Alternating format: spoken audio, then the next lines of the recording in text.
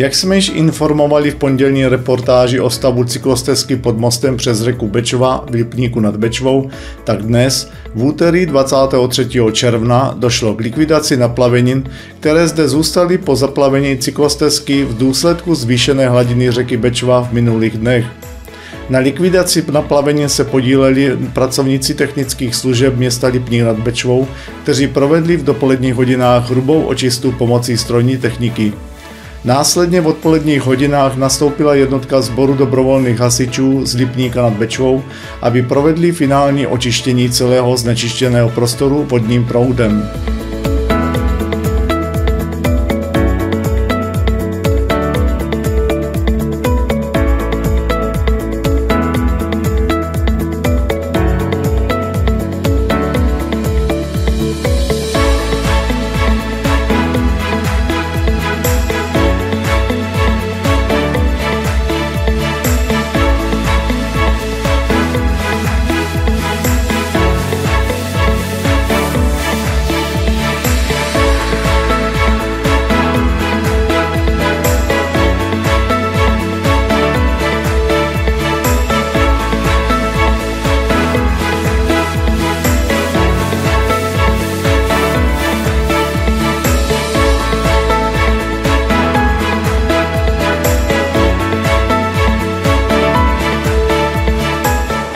Jednotka sboru dobrovolných hasičů byla požádána městem Lipník nad Bečvou o spolupráci při čištění cyklostezky pod mostem eh, se spolupráci s technickými službami města Lipníka. V současné době jde vidět, jak jeden z hasičů eh, na hladko čistí eh, plochu asfaltovou, takže za chvilku by to mělo být všechno hotové, připravené a po ukončení prací eh, bude obeznámena městská policie o čistotě zdejšího povrchu.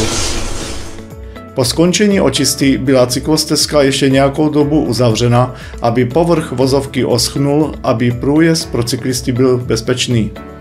Ve večerních hodinách již byla cyklostezka pod mostem v Lipníku nad Bečvou definitivně otevřena k používání širokou veřejností.